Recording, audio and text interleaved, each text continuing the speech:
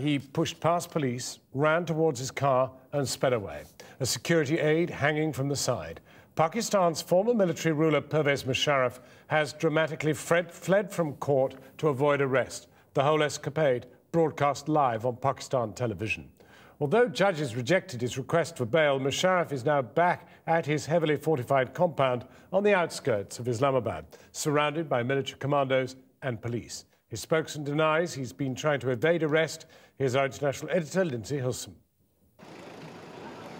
Security was tight outside the High Court in Islamabad this morning as former President Musharraf's motorcade arrived. He's accused of treason for declaring a state of emergency and dismissing the Chief Justice back in 2007. As a military helicopter flew overhead, inside, the judge ruled that Pakistan's former leader should be detained with immediate effect. An onlooker filmed what happened next. Musharraf should have been handcuffed and imprisoned, but his people bundled him away in defiance of the judges. Hidden by the crowd, they managed to get him into his car.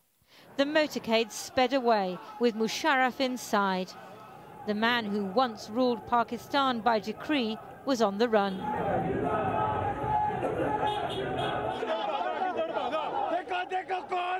The lawyers he'd alienated in 2007 jeered. Look who's running away. Musharraf is running away. And lawyers are alive to save the country and the constitution. It is the job of the police to arrest him. The police was there and the bail was not confirmed. Why the police didn't arrest him? His supporters were outraged. Even that the judge have dismissed our appeal and he is biased, he gave the wrong decision and now we have no faith on the judiciary and the judiciary have decided to put him in the jail and we will see how they will do it. Musharraf's office issued a statement describing today's events as unwarranted judicial activism motivated by personal vendettas likely to destabilize the country.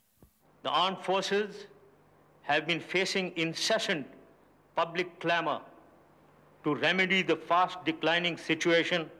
In 1999, General Pervez Musharraf seized power in a coup, ousting the elected but corrupt Prime Minister Nawaz Sharif.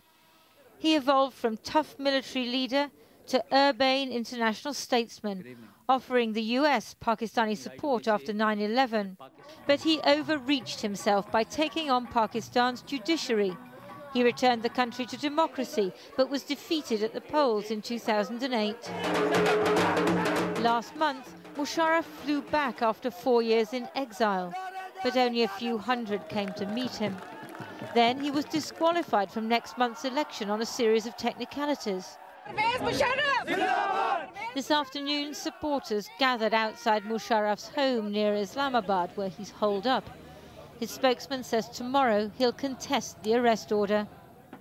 Behind the barricades, Pervez Musharraf must be contemplating the ironies of life. The army may intervene to stop him being imprisoned. But the favourite in next month's election is Nawaz Sharif, the man he overthrew in 1999. How are the mighty fallen? But in Pakistan, they may yet rise again.